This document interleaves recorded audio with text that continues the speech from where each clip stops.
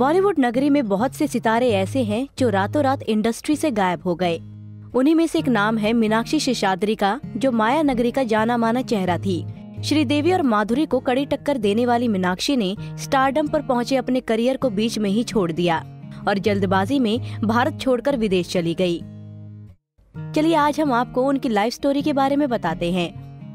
झारखंड के सिंदरी नामक शहर में 16 नवंबर उन्नीस में पैदा हुई मीनाक्षी शेषाद्री का असली नाम शशिकला शेषाद्री था।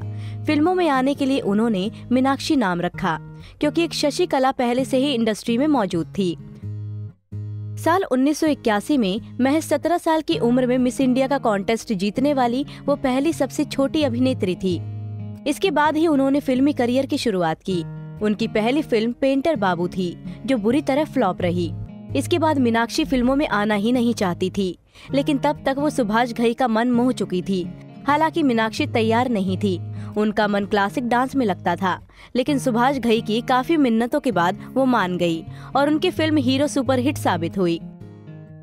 इस फ़िल्म ने कमाई के रिकॉर्ड तोड़े। उस दौर में सिर्फ़ अमिताभ की पिक्चरें ही चलती थी। मीनाक्षी भी अमिताभ के साथ काम करना चाहती थी, लेकिन अमिताभ के लिए उन्हें पाँच साल इंतज़ार करना पड़ा, और फिर टीनू आनंद ने उन्हें ये मौका दिया फ़िल्म शहनशाह से। इसके बाद दोनों की कई फ़िल्में आई जो लगातार हिट हुई, लेकिन इसी बीच एक डायरेक्टर मीनाक्षी के प्यार में पड़ गए, जिनका करियर बनाने वाली भी मीनाक्षी ही थी। डायरेक्टर राजकुमार संतोषी अपनी फ़िल्मों में सिर्फ़ मीनाक्षी को ही साइन करते थे और मौका पाकर उन्होंने मीनाक्षी से अपने इश्क का इजहार भी कर दिया। लेकिन मीनाक्षी ने उनकी मोहब्बत कबूल नहीं की, लेकिन फ़िल्में करती रही। घायल घातक और दामिनी उनकी अहम फ़िल्में रही। घातक फ़िल्म की पार्टी में एक सहेली के ज़रिए उनकी मुलाकात एक शख्स से हुई, जो उनके काफ़ी करीब आ गया था। कहा जाता है कि मीनाक्षी ने अमेरिका में रहने वाले इन्वेस्टमेंट बैंकर हरीश मैसोर से गुपचुप शादी की और फ़िल्मों में काम करती रही। ये बात उनके परिवार को भी नहीं पता थी। लेकिन जब उनके रिलेशनशिप से जुड़ी बातें उठने लगी तो मीनाक्षी ने सब कुछ छोड़ शादी के बाद अमेरिका में बसने का फैसला कर लिया और फिर कभी वापस नहीं आई। एक साल बाद वो शेखर सुमन के शो में बतौर गेस्ट नज़र आई। गृहस्थी संभालने के लिए मीनाक्षी ने अपना करियर छोड़ दिया।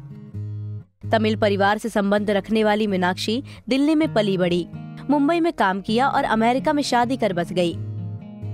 सालों बाद जब इंडस्ट्री में दिखी तो कहते हैं लोग उन्हें पहचान भी नहीं पाए थे। ऋषि कपूर का भी कहना था कि वो वर्षों बाद मिली दामिनी की अपनी सह अभिनेत्री मीनाक्षी शेषाद्री को पहचान नहीं पाए। बता दें कि उनकी आखिरी फ़िल्म दो राहें थी जो रिलीज़ नहीं हुई। क्लासिक डांस की शौकीन मीनाक्षी ने अमेरिका में डांस ट्रेनिंग स्कूल खोला, जहाँ वो बच्चों को डांस सिखाती हैं। परिवार को अहमियत देने वाली स्टार ने चकाचौंध की दुनिया को अलविदा कह, हमेशा हमेशा के लिए माया नगरी को अलविदा कह दिया था। आपको हमारा ये पैकेज कैसा लगा, हमें कमेंट बॉक्स में बताना ना भूलें।